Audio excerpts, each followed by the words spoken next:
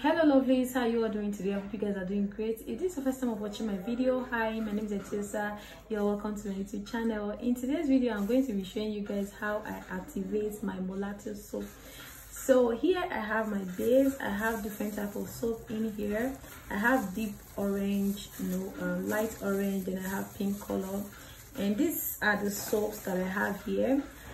Here i have Kojie San skin lightening soap which is the light orange. This is the deep orange which is papaya whitening soap with vitamin a c and e. And then the last one is this glow half cast solution flawless uh, unifying lightning bar soap now when making mulatto soap there are rules that guide it. I have different type of recipes on how to make mulatto soap so this is one of them so when you want to make mulatto soap first thing you look out for is the color of the soaps that you are making. There are different type of colors of soap bar soap out there. So when you want to make mulatto soap the best thing and the first thing you look out for is soaps that have similar ingredients and similar color in order for you to avoid change in color. Second thing you need to look out for is to avoid concentrate a lot of concentrate i've seen most of you all putting up to five six seven type of concentrate serums tube in your mulatto soap please. Do not add tubes in your mulatto soup and also avoid putting too much serums in your mulatto soup many of them will not work because this bar soap has a very high percentage of ph. So imagine you putting concentrate that have a ph level of four or five and you are putting it in soaps that have a pH level of 8, 9. So tell me how it's going to work. It's not going to work. And then another thing is those serums that you are putting in your mulatto so many of them are going to change the color of your mulatto soap. Okay, so that's one of the questions I get most of the time. How can I avoid my mulatto soap changing color? That is the first thing you need to avoid. Avoid too much concentrate in your mulatto soap. And secondly, pick soaps that have the same um the same ingredient or similar ingredients let's say for example you get a soap that has kojic deep then you get a soap that have glutathione you get a soap that have alpha arbutin now this is the thing here you can see this contains papaya all right? And then when you look at this it's also papaya. Okay that's the thing. It doesn't matter you combining four to five six different uh so but make sure you look out for soaps that have similar ingredients and similar color. So that you'll be able to formulate a perfect and effective mulatto soap. You wouldn't want your customer to buy your soap and then they start complaining after one week that your mulatto soap has changed color. Okay so that's the best way you can avoid changing of color. Then the third thing you need to do is your container. Okay so when you are packing your soap don't use a a cover that has um aluminum okay avoid that. You can use a cover that have plastic that have lead plastic in it but do not use a cover that has aluminium. That is going to like change the color of your soap totally. When you open it the first thing you're going to see is brown color. No matter how many food coloring or mica powder you put into your mulatto soap it's still going to change color. So avoid too much concentrate.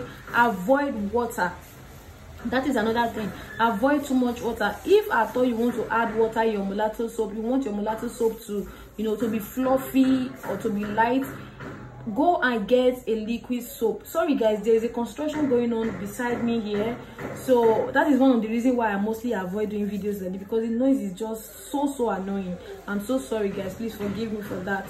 So um get a um, a liquid soap that also have similar ingredient with what you are formulating and similar color. Let's say for example now i want to add in um, uh, um, liquid soap in this. I can get soaps that contain kojic acid soap kojic acid kojic deep glutathione and alpha or even papaya soap. There are so many soaps that has papaya in it. So get soaps liquid soaps that have similar color and similar ingredients if you want your soap to be very very light okay so i'm going to, be showing you guys the things that we're going to be adding into this base first thing first i'm going to be adding this. This contains um lemon extract. This is citro uh, clear so i'm going to be adding this into the soap so we're going to be adding half of this. So we have three bar soap in here. Although i didn't finish the kojic d because it was very very big. It was very big so i have to cut it into half. And then the second thing we're going to be adding in is this uh, Betasol okay? So this is very very good in soaps.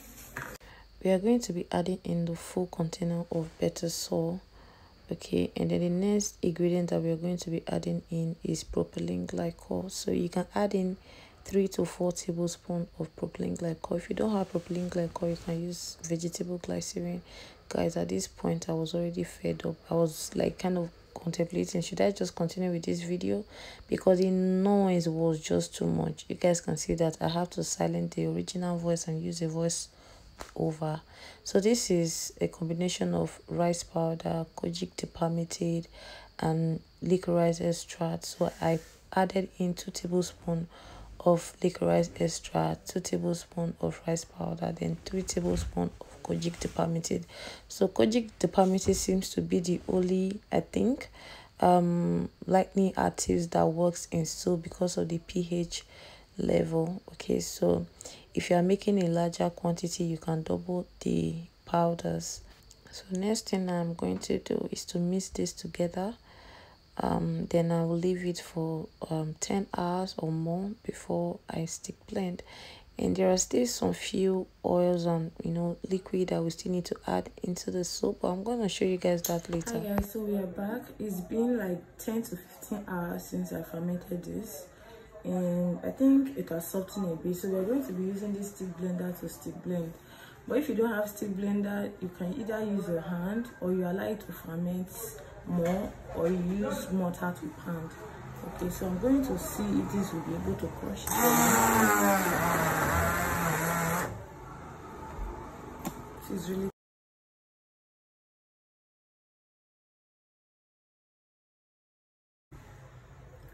guys at this point something terrible just happened.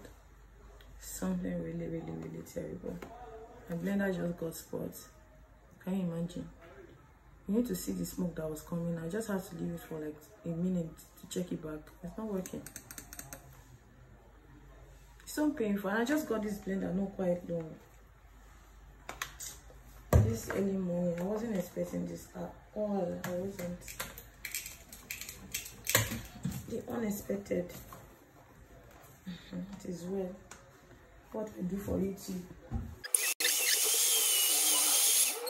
this is a bad choice. I have to remove this. Let me fix the other one because if not, I'm going to sleep here throughout the day. And I really want to show you guys the end result of this soap. These are most of the things that will go through behind the scenes. So if I haven't shown you guys this one, you will know.